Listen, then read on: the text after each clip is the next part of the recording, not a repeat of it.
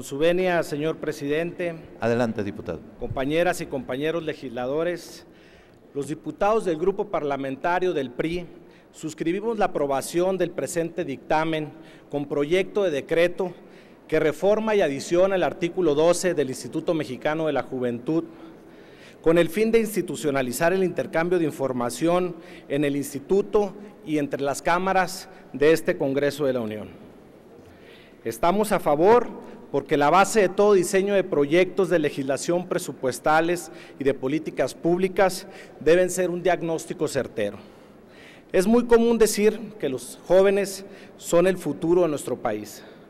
pero es poco común entender que el futuro es el resultado de lo que se hace o se deja de hacer en el presente. Por lo tanto, el futuro de los jóvenes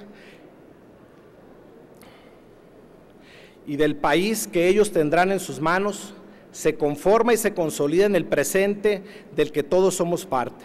Nosotros, en lo particular, debemos comprender que del desempeño de nuestra responsabilidad presente como legisladores jóvenes y del cumplimiento de nuestro compromiso actual con la juventud mexicana a la que representamos, depende ese futuro al que tanto se alude en el discurso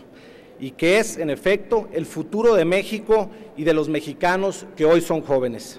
Hemos explorado profundamente la importancia que tienen para nuestro país los 29.7 millones de jóvenes que oscilan entre los 15 y los 29 años que lo habitan y que son la cuarta parte de la población, conjunto que, como bien señala la comisión dictaminadora, comparta una rica heterogeneidad de realidades en la Comisión de Juventud de esta Cámara de Diputados, estamos convencidos de que nuestra responsabilidad como legisladores debe partir de estas premisas y debe orientarse a, la consecución de un propósito esencial, lograr que la educación, que el empleo, la salud,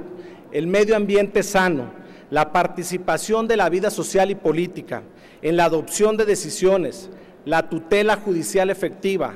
la información,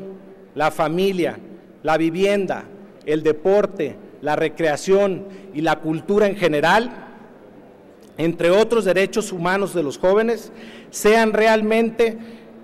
y que se alcance gradualmente y firmemente, a partir de la cual el desarrollo integral de la juventud sea la consecuencia más trascendente de la aplicación de las políticas públicas diseñadas en su beneficio.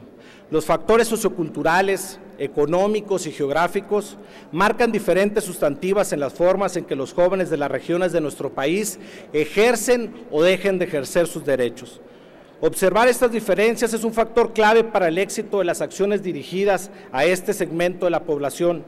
Llegar al nivel de detalle que permita formular estrategias diferenciadas conformes con las necesidades específicas de los diversos grupos de jóvenes tendría que ser la base idónea para apuntalar a las reformas legislativas que provean sustento normativo a una política de juventud integral en toda su expresión. Evidentemente las expectativas y necesidades de un joven agrónomo en Sinaloa no son radicalmente diferentes a las que demanda una joven indígena en la comunidad de San Juan Chamula o un joven estudiante en el Distrito Federal.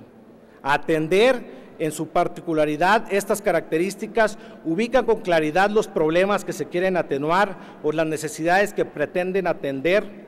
es el imperativo para trabajar eficazmente en el mejoramiento de las condiciones de vida de los jóvenes mexicanos.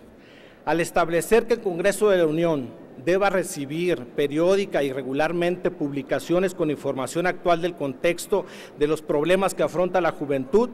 nos estamos comprometiendo a trabajar con mejores elementos de análisis para generar mejores instrumentos legislativos y presupuestales, realizando acciones más certeras y oportunas. De este compromiso, los diputados del PRI refrendamos nuestra convicción y responsabilidad con la vanguardia del progreso de nuestro país. Es cuanto, señor presidente.